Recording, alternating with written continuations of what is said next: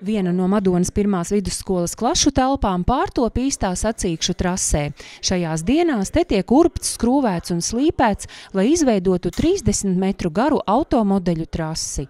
Pašlaik Latvijā ir ap 15 šādu trašu, kurās iespējams apgūt gan automodeļa vadīšanas prasmi, gan meklēt veidus, kā pilnveidot savu ideju. Šī ir šausmīgi krāsaina un jauka rotaļa. Un tā nav datorspēle, viss notiek pa īstam. Lai tas bērns varētu braukt, viņam ir jāuztais modelis. Lai viņš varētu uztaisīt to modeli, viņam jāmācās zāģēt, lodēt, virpot urbt. Nu, ļoti daudz lietas, kas viņam ir jāiemācās, bez tā viņš netiek pie tā modeļa. Tieši caur aizraujošu spēli trases automodelisms skolēniem ļauj labāk izprast, kā dzīvē darbojas tās mācības, ko bērni apgūst skolas solā. Noturībā ir daudz dažādas prasmes, ja gatavot nu, automodelīšus un dažādas lietas. Fizikā ir dažādi eksperimenti. Un šī būtu tā iespēja, kur bērni praktiski varētu pārliecināties, kā tas dzīvē darbojas.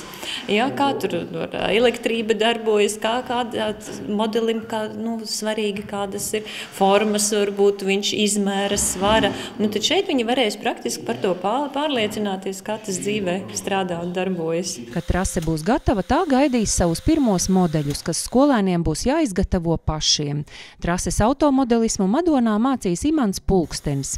Kaut arī pats ir apguvis galdnieka specialitāti, viņš atzīst, ka kopā ar audzēkņiem arī pats būvēs savu pirmo automodeli. Uzzinot kaut nedaudz par šo te sporta veidu, tehnisko sporta veidu, es e, sapratu, ka viņš ir nu, azartisks. Numur viens tas ir, e, ka viņš veicina domāšanu, visādi veidu mehāniku, e, izdomu, precizitāti. Visādas maņas attīstīt. Tas, ja jauniešiem šāds piedāvājums, es vienkārši priecīgs esmu pagaidām, jo jo tas rezultāts nav tik vienkāršs. Viņš nebūs uzreiz. Pieredzējušie eksakto priekšmetu skolotāji atzīst, ka interese par inženierzinātnēm rodas ārpus skolas, darbojoties tehniskajā jaunradē. Jo mazāk šāds pulciņu klāsts, jo vairāk potenciālo inženieru talantu tiek pazaudēts. Es apmēram nu, daudz gadus nostrādājis pa pedagogu tehniskajā jaunradē, un te konkrēti šajā automobilismā, kad eh, nu, šajos gados, nu, ko es esmu novērojis, Nu, vismaz 90% no tiem bērniem, kas nāk pulciņos, viņiem pēc tam ir augstāka izglītība. Jo, ja viņš iemācās tehniski domāt, tur 10, 11, 12, 14 gadu vecumā, tas viņam paliek nu, peldēt prasme uz visu mūžu. Viņš ļoti daudzas lietas, kas daudziem cilvēkiem nav saprotamas, viņš to tehniskās domāšanas pamats ir apgūts. Rihards ir atnācis aplūkot topošo trasi un jau tagad ir pieteicies darboties pulciņā. Taču netik pārliecināts jaunietis ir par savu nākotnes profesijas izvēli.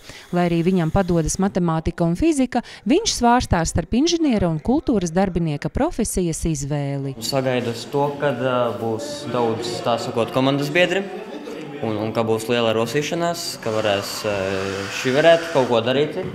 Un, un, un kad viss priekšā mums ies. Trases automodelisma pulciņš Madonā darbosies bērnu un jauniešu centra paspārnē. Projekta nāc un dari, jo tu vari ietvaros. Savukārt automodeļu trase tapusi par SEB bankas ziedojumu 5690 eiro apmērā.